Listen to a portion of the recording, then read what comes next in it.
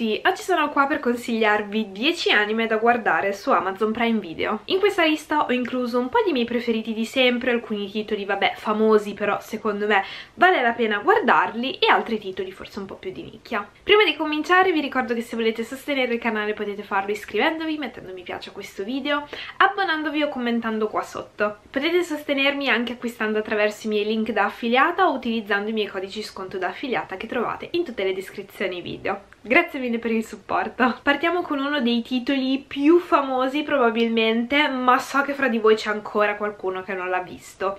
L'attacco dei giganti. Qui ci troviamo in un mondo in cui l'umanità è ormai agli sgoccioli e i pochi sopravvissuti vivono in una città circondata da altissime mura per tenere fuori i giganti. Questi sono degli esseri che si cibano delle persone, per questo è importante tenerli appunto all'esterno, ma un giorno un gigante colossale mai visto prima riuscirà ad abbattere queste mura e inizierà una strettissima lotta alla sopravvivenza. È una storia abbastanza inquietante che si avvicina un po' all'orrore perché questi giganti sono anche deformi, eh, hanno un aspetto e delle movenze molto molto inquietanti e come vi dicevo l'umanità deve cercare un modo per poter sopravvivere. C'è all'interno anche strategia, intrighi politici, è secondo me una serie molto avvincente perché mescola bene azione, momenti di puro intrattenimento con trame un po' più sottili e appunto intriganti, eh, ogni tanto ci sono dei pazzeschi colpi di scena, quindi sicuramente una serie che tiene incollati dall'inizio alla fine. Perfetto se state cercando qualcosa di adrenalinico,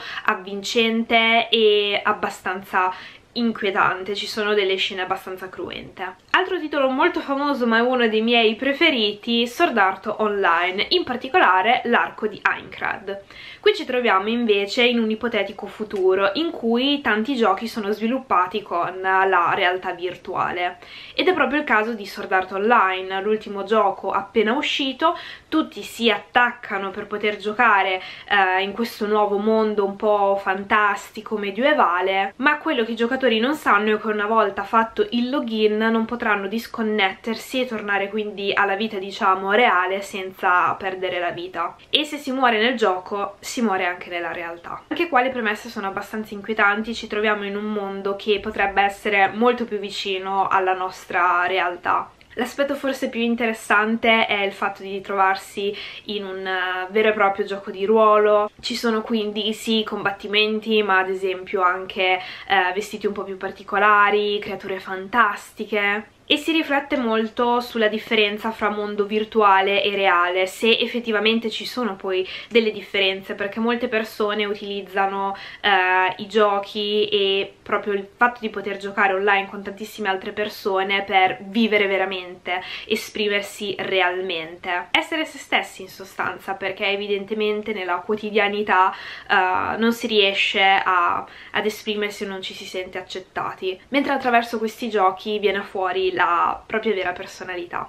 Andando avanti l'anime secondo me un po' si ripete, alcune dinamiche non mi fanno impazzire ma come vi dicevo proprio il primissimo arco è secondo me molto molto avvincente, bello, anche graficamente parlando secondo me è un anime che ha un po' di tutto. Watakoi è invece una serie molto divertente che vede per protagonisti due ragazzi che si conoscevano nel periodo della scuola e si incontrano a distanza di anni sul posto di lavoro. Lei è una grandissima fan di Boys Love, File del Fumetto, fumetto, cosplay, eccetera eccetera e anche lui condivide un po' questo aspetto diciamo da otaku, da nerd con questa ragazza in particolare molto appassionato di videogiochi.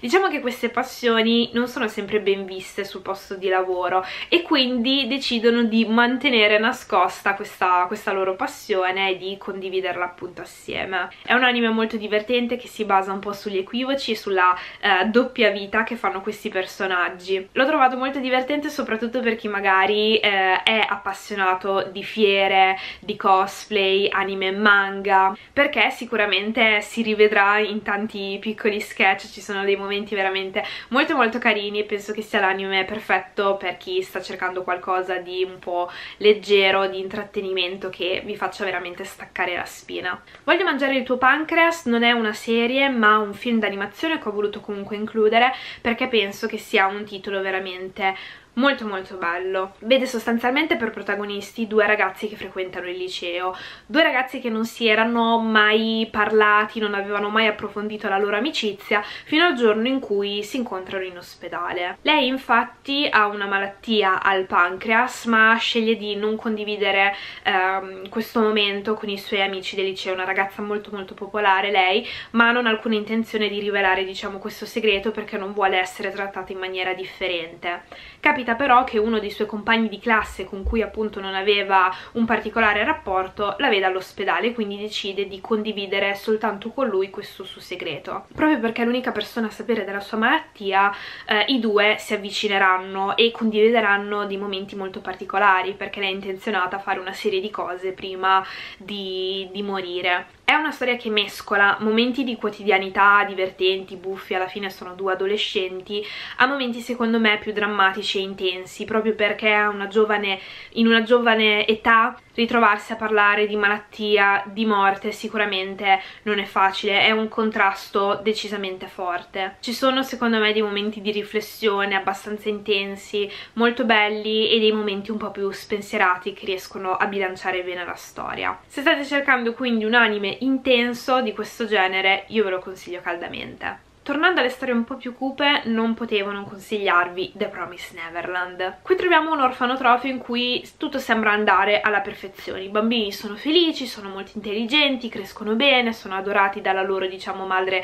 eh, adottiva, quella che si occupa dell'orfanotrofio, ma in realtà è tutta una pace apparente perché il vero scopo di questo posto è allevare i bambini proprio come se fossero bestiame per darli in pasto a delle creature. Quando verranno a scoprire, soprattutto i ragazzi diciamo un po' più grandi, la vera natura di questo posto tenteranno in ogni modo di fuggire. È una storia anche in questo caso abbastanza inquietante, un po' thriller ma soprattutto di strategia. Non ci troviamo di fronte a dei bambini diciamo comuni perché eh, hanno un'istruzione sicuramente avanzata e particolare. Questo permette loro di ragionare un po' come degli adulti e quindi di tentare in ogni modo di contrastare qualcosa che è apparentemente molto molto più grande di loro. Anche in questo caso ci troviamo di fronte a una serie avvincente con diversi colpi di scena e è una storia abbastanza adrenalinica che tiene veramente col fiato sospeso. After the Rain è invece una storia tratta dal manga Come dopo la pioggia che vede per protagonista una ragazza liceale che a differenza di tante sue coetanee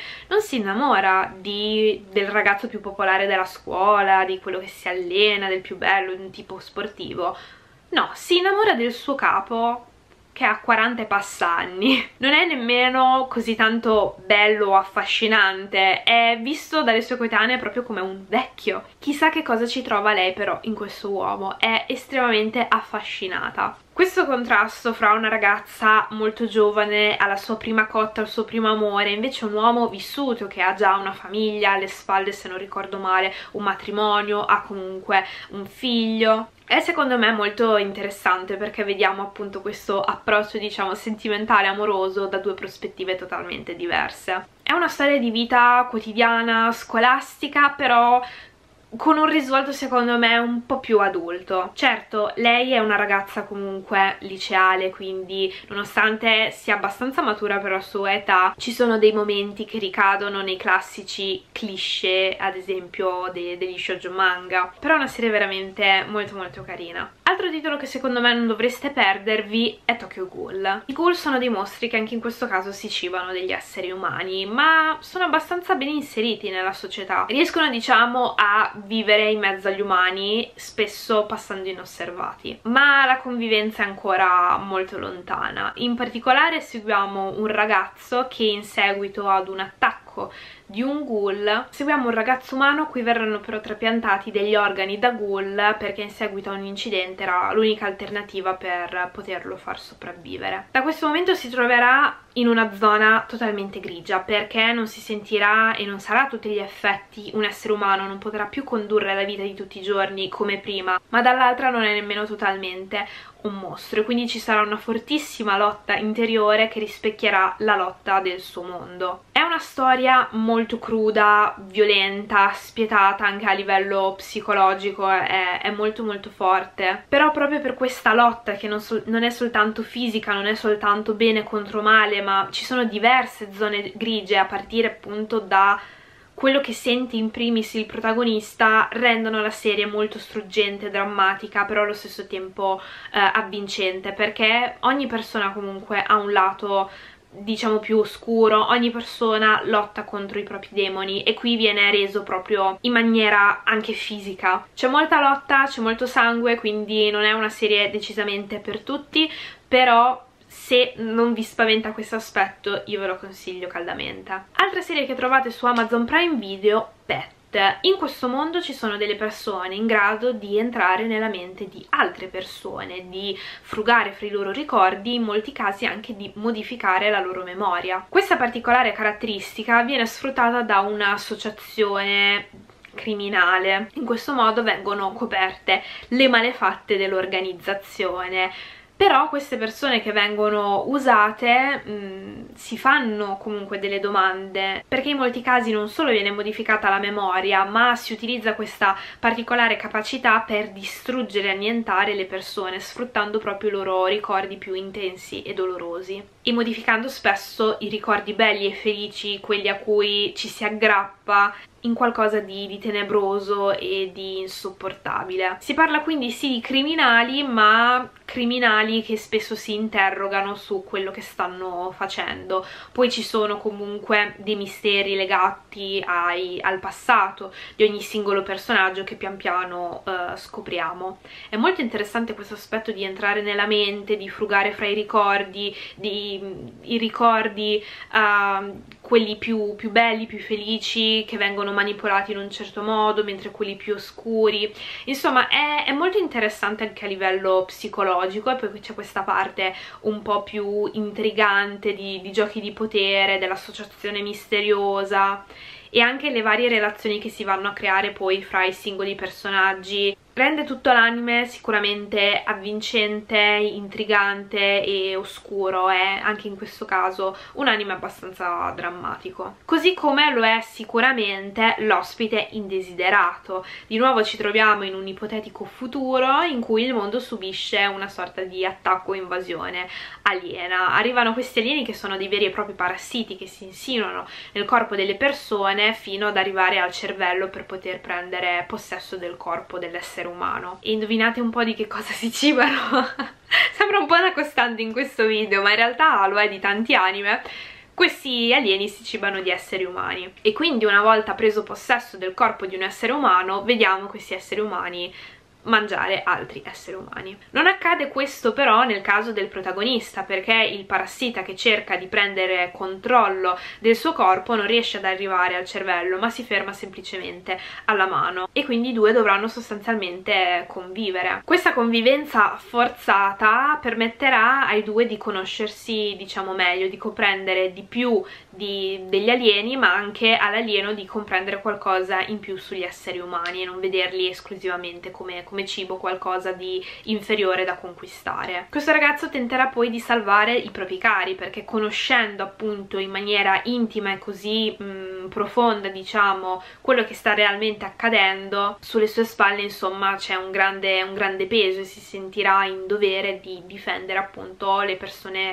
eh, più deboli che sono totalmente all'oscuro oscuro di questa razza aliena. È una storia abbastanza cruda, a tratti violenta, però secondo me molto interessante proprio per questo aspetto di, di convivenza forzata e del dare per ricevere. Questo scambio di informazioni, la volontà anche di, di capirsi e di provare a, ad accettarsi e di nuovo c'è una sorta di lotta interiore perché questa convivenza forzata porterà fuori comunque degli aspetti che uh, il protagonista non pensava di avere, delle caratteristiche del suo, eh, del suo carattere appunto che ignorava totalmente. Quindi è una sorta anche di scoperta di, di se stessi, di lotta interiore ma anche per sopravvivere. L'ultimo anime che voglio consigliarvi oggi è Fate Stay Night. Qui ci troviamo di fronte a una sorta di gara competizione per arrivare alla conquista del Santo Graal e realizzare così un proprio desiderio. Il protagonista è un mago dilettante che appunto viene a scoprire in maniera inaspettata di questa rincorsa al Santo Graal a cui partecipano diverse figure, diversi master accompagnati tratti dal proprio Servant, rappresentato da uno spirito di un combattente più o meno storico. È un anime che unisce il combattimento, quello un po' classico, standard, mm, anche in stile un po' medievale, vista anche la storia comunque di alcuni dei personaggi, dei cavalieri storici, a combattimenti di magia. Una storia molto avvincente perché c'è un susseguirsi di, di prove, di combattimenti per arrivare a uno scopo ultimo però c'è anche la storia dei singoli personaggi ogni servant come vi dicevo si rifà comunque a un personaggio storico più o meno eh, famoso e spesso si entra comunque nel dettaglio per scoprire qualcosa di più riguardo a questi personaggi. Anche le dinamiche fra personaggi diversi sono comunque molto interessanti. È secondo me una storia che sa bilanciare bene l'aspetto del, del combattimento, dell'azione, della strategia con un aspetto decisamente più umano molto avvincente anche per alcuni richiami diciamo storici se vi piacciono poi gli anime di combattimento in cui ci sono armi particolari, mosse eh, appunto specifiche a seconda del combattente eccetera sicuramente adorerete questa storia. Questi erano quindi gli anime che volevo consigliarvi oggi da guardare su Amazon Prime Video. Mi raccomando fatemi sapere qua sotto nei commenti innanzitutto se li avete visti e se vi sono piaciuti o meno. E poi quali altri anime consigliereste voi da guardare su questa piattaforma. Ce ne sono altri che io sto già guardando, che ho già visto, ma attendo, magari potrei fare in futuro una seconda parte di questo video. Spero comunque che i miei consigli vi siano utili e noi ci vediamo alla prossima. Ciao!